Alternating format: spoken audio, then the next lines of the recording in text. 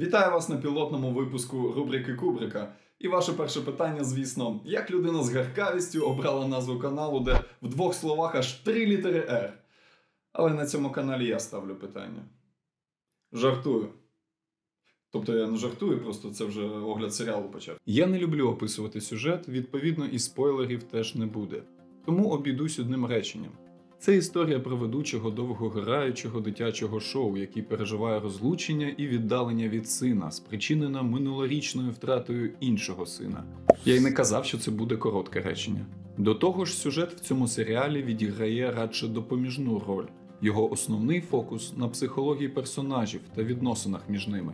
Хоча сюжетних твістів тут теж вистачає, на першому плані все-таки йде емоційність. Деякі драматургійні моменти змусять просльозитись навіть сценаристів СТБ.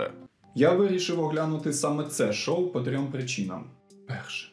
Велика увага тут приділена посттравматичному синдрому, що для нас, на жаль, вкрай актуально, враховуючи більше ніж півроку війни проти росіян. Всі герої тут так чи інакше справляються з травмами минулого. Тому, на мою думку, цей серіал має потужний терапевтичний ефект. Друге. Після повномасштабного вторгнення окупанта кіно стало дивитись важче. З'явилися проблеми з концентрацією і увагою. Багато звичних речей мирного часу зараз відчуваються ніби не на часі. І це абсолютно нормально. Тому одна із переваг цього серіалу це його компактність. Всього два сезони по 10 епізодів, кожен з яких триває всього 30 хвилин. Це як 5 фільмів Марвел. Тільки тут хоча б є шанс отримати задоволення. Третє. Джим Керрі, кумир мого дитинства, нещодавно заявив про завершення своєї акторської кар'єри. І це один з останніх його проєктів, який до того ж пройшов достатньо непоміченим. Тому багато з вас могли його не бачити або навіть не чули про нього. Актор не з'являвся на телебаченні майже 30 років з часів скетч-шоу в яскравих кольорах. Крім цього, були тільки камео в офісі і студії 30. Але не дивно, що єдиним серіалом в кар'єрі, де він зіграв головну роль, став саме цей. Образ персонажа Джефа Піклза, людини, яка дарує радість всьому світу, а сама залишається смертельно самотньою, був дуже близьким актору довгий період життя. До того ж, до проекту долучився Мішель Гондрі, або для наших французьких підписників Мішель Гондрі, який виступив продюсером і режисером восьми епізодів. Попри релевантність ідеї шоуранера Дейва Хольстейна, Джим Керрі зізнається, що саме долучення Мішеля стало вирішальним фактором його згоди. Разом вони вже створювали вічне сяйво чистого розуму. Тоді сумішна творчого польоту думки Гондрі, геніальних ідей Чарлі Кауфмана та тонкої драматичної гри Джима Керрі створили беззаперечний шедевр. Ну і вічне сяйво у мене топ-3 у рейтингу найкращих фільмів всіх часів якби той постер не дасть збрехати. До речі, тільки під час роботи над цим відео я дізнався, що Гондрі вперше зняв Керрі ще роком раніше у сюрреалістичній хвилинній короткометражці Пеканський пиріг із французькими зірками нульових Еріком і Рамзі. Нічого не зрозуміло, але дуже цікаво. І хоча драматичних ролей в кар'єрі талановитого комедіанта вистачало, жартує нам дарує нову, непізнавану грань його акторської гри. Такого Керрі ми ще не бачили. О, дякую, Пінгві. Серіал є наочним прикладом жанру драмені. Його можна описати одним влу... Вибачте, ви можете не читати написи. Я тут е, взагалі-то стараюсь і. Дякую. Е, Його можна описати одним влучним англійським словом bittersweet. Е, Ну, це як кисло-солодкий соус у Макдональдс. Але ж бітер це гіркий, а не кислий, скажете ви. Але ж півроку без Макдональдса було доволі гірко, правда? От тільки якщо, приміром, в серіалі Скрабс комедійні і драматичні шматочки чітко розгалужені і йдуть хвилеподібно, то в Кілін ці поняття нероздільні і нагадують скоріше кардіограму. Жарти можуть з'явитись в такий неочікуваний момент, що ти навіть не знаєш, чи можна взагалі тут сміятись. І це не мила ніяковість офіса, тут все куди серйозніше.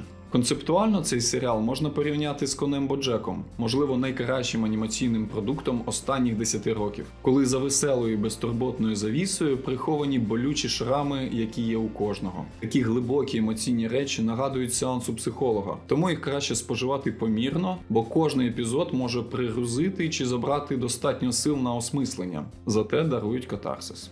А за формою жартую мені нагадав Джокера Хоакіна Фенікса. Здається, що ці персонажі навіть схожі візуально. Хоча це просто збіг, тому що проекти готувалися ледь не одночасно, і фільм Тода Філіпса вийде тільки в наступному 2019 році. Але варто зазначити, що цей режисер теж починав з комедій, в яких в тій чи іншій мірі теж були закладені душевні чоловічі травми. Кумедно, бо колись Керрі і справді був ворогом Бетмена і навіть мав справу з пінгвінами. Ну добре, не з тими.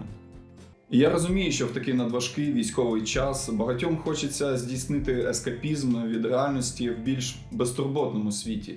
І в такому випадку завжди можна передивитись друзів, наприклад. Я ж раджу Кідін тим, хто хоче не втекти від реальності, а має сили сприйняти її, або хоча б спробувати. Майже кожна відкриваюча сцена епізоду це окрема історія про те, як дії головного героя впливають на події в світі, інколи зовсім непередбачувано і не завжди позитивно. Це дає привід замислитись, як, наприклад, будь-яке ваше слово може посіяти зернятко сумніву, страху або навіть травмувати іншу людину. Також це наштовхує на думку, що навіть найдобріший твій намір може бути інтерпретовано в негативному ключі. Тому не варто намагатися сподобатися всім. Haters gonna hate. Кожне інтро в серіалі теж унікальне і особлює важливу тему своєї серії. Не дивлячись на показове випромінювання щастя, Джефа Піклза зсередини розривають переживання стосовно розламаного шлюбу. Взагалі, тема сім'ї в цьому шоу приречена стати центральною через те, що і батько, і сестра головного героя працюють разом з ним на цьому дитячому шоу. Тато керує передачею, а сестра робить ляльки. Можливо, саме відсутність матері і робить втрату коханої жінки настільки критичною для героя. І у той час, коли Піклз є ментором для всього світу, він сам потребує терапії. І цю функцію виконує батько, який є ледь не фігурою Бога для сина. Але поки головний герой протягом серіалу намагається відпустити минуле і переживати теперішнє, ми, як глядачі, зараз більше турбуємося за майбутнє. Та попри це, я думаю, що кожний побачить тут дещо корисне для себе. А завершити цей огляд я хочу думками не про серіал, але на які він мене наштовхнув. У час, коли вся нація спрямована на підтримку армії і волонтерів, я вже не кажу про хибне почуття вини чи коли здається, що робиш недостатньо, все одно треба знайти в собі сили на допомогу самому собі.